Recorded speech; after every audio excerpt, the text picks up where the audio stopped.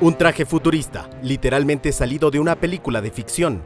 Pero el día en que estas armaduras patrullen nuestras calles podría estar más cerca de lo que pensamos. Conocimos al inventor ecuatoriano Marcelo Ayala en su empresa dedicada a las soluciones electrónicas. La historia del Robocop ecuatoriano comenzó con papel y lápiz. Marcelo trazó varios dibujos de una armadura similar al Master Chief, personaje del videojuego Halo importó un traje de disfraz del mismo personaje y sobre esa armadura implementó varios circuitos y componentes para llevar a la vida a lo que él piensa podría ser el futuro de los trajes de seguridad en el Ecuador.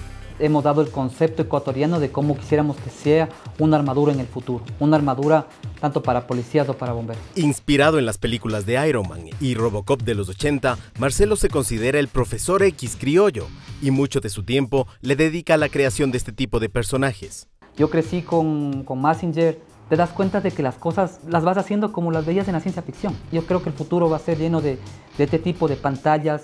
La policía antimotines ya cuenta con armaduras similares. Sin embargo, la gran diferencia que propone Marcelo es que la suya incorporará múltiples avances tecnológicos, como por ejemplo, el policía cubierto con la armadura podrá comunicarse desde dentro de su casco, tener acceso a datos o localización e incluso transmitir videos en tiempo real, algo muy similar a la invención de Tony Stark, es decir, Iron Man. Tiene un tipo de micro, microprocesador, el cual va conectado mediante, puede ser mediante Wi-Fi, a un comando central con la pantalla transparente podemos utilizar cualquier tipo de sistema de comunicación troncalizado. Otra característica del traje es que puede verificar los signos vitales de la gente. En casos extremos, enviará señales de auxilio para proteger la vida del policía. Se llaman controladores arduinos, el cual me ayuda a monitorear, sobre todo a manejar sensores. por el momento, solo están dos, que es el del corazón sí, y el de la temperatura. Una cámara también con el cual monitoreas todo lo que le están haciendo al traje. El traje es importado y su material es plástico. Tiene sensores de latidos de corazón y temperatura corporal. También sistemas de comunicación en el casco que tiene una pantalla transparente y además cámaras de video.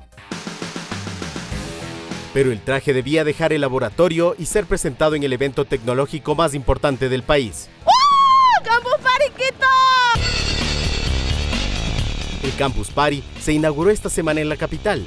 Más de 3.000 campuseros llegaron el primer día para instalarse en carpas como es lo habitual. En esta edición, el gigante servidor de Internet tuvo una velocidad de 6 GB por segundo, es decir, 5.000 veces mayor a la conexión típica de un hogar ecuatoriano. Marcelo y su equipo de trabajo llegaron para oficialmente presentar a su invento en sociedad. Es un sueño llegar al campus y también, más que todo, presentarse con, la armadura que nos tomó tanto esfuerzo y sacrificio. Un traje de cuerina negro es la base donde se enganchan las 20 piezas de la indumentaria, botas, rodilleras, todo lo que el Robocop usaría para salir a combatir el crimen. Este traje está hecho de plástico, también está hecho un poquito más duro con Rhinoline, en algunas partes con fibra de vidrio. Se necesitan al menos dos personas para que todo quede sujeto en el cuerpo del agente ficticio. Cada cable tiene que ser conectado. Este prototipo funciona con baterías recargables. Bueno, es, toda la alimentación que se le da. Aunque veas, estas baterías son pequeñitas pero bastante fuertes. 20 minutos se demora la colocación de un traje. La idea, nos dicen, es que sea estético y seguro. Si te quieren dar un palazo, tú haces esto. Sí, entonces el, el palo va acá. Mira, esto, el balazo en la barriga, lo voy golpeando duro. Entonces no le pasa nada. Eso está reforzado. Esto es como un molde donde nosotros hemos puesto nuestras ideas. Nos sacamos un tiempo libre donde sea. A veces dejamos familia, a veces dejamos muchas cosas, pero siempre es por el bien de los demás.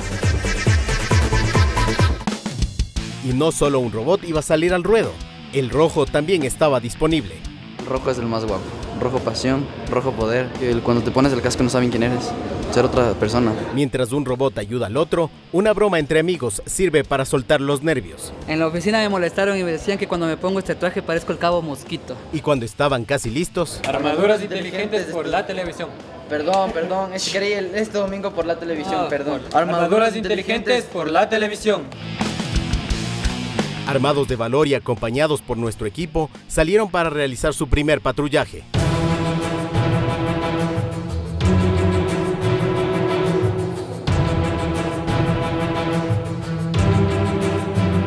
Varios campuseros y medios de comunicación fotografiaron a los soldados del futuro, Made in Ecuador. Hasta el alcalde de Quito aprovechó para tomarse un selfie. Como la película Robocop, pero muy interesante y muy buena la, la, exposición de los muchachos. Es lo que estamos apuntando, todo es tecnología alrededor de nosotros.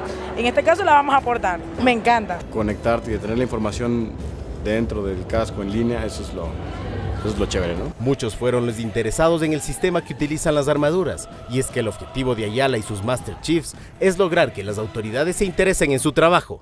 Veo una apertura total al proyecto y al ministro del Interior que por favor, nosotros no queremos que nos compren ni un clavo, pero solo queremos poner nuestra idea en un aparato que pueda servir para la colectividad. En un evento cargado de creatividad y novedosos inventos, las armaduras inteligentes acapararon los halagos y preguntas del público, que tuvo la oportunidad de ver en acción a las mentes ecuatorianas, que al servicio de la comunidad podrían equipar de tecnología de punta a los agentes del futuro, así como en las películas.